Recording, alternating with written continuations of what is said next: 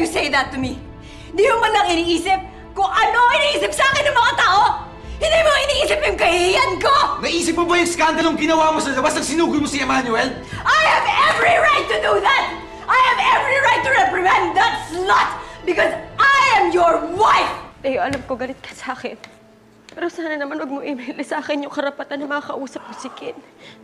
Dapat kasi hindi mo na siya sinama sa opisina kanina. Sana hindi niya narinig lahat ng bagay na yun. Ako pa ngayon sinisisi mo. Sa kagustuhan ng batang makita at makasama ka. Dahil namimiss ka niya, ngayon kasalanan ko pa. Sa laki ng iskandalong ginawa niya ni Patrick kanina, siguradong kakalat yan. Kahit hindi yun nakita ni Kit, malalamat malalamat din niya sikreto mo. Leo, maniwala ka. Hindi namin sinasadya yung nangyari. Mahirap din para sa akin to. At asawa ko si Patrick, may karapatan siya. Walang masama kung magsama kaming dalawa. Malalaman at malalaman na rin ng lahat na magpapaanal tayo.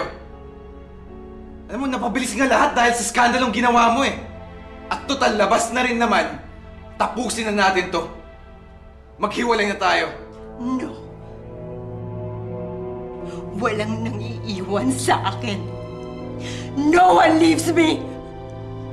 Pagbabayaran mo to, Patrick. Pagbabayaran mo to, kayo ng kabit mo! Bakit ka sa akin nagpapaliwanag? Ayoko na marinig yan. Magpaliwanag ka kay Kit na meron kang ibang asawa. Na all this time ay nagpapanggap ka lang na nanay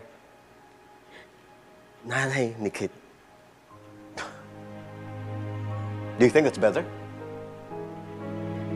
Kung kaya ng dibdib at damdamin mo, nasaktan uli ang anak ko. Go ahead.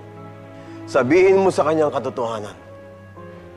Para matapos na ang lahat ng panlilinlang at panlulokong ginagawa mo. Go.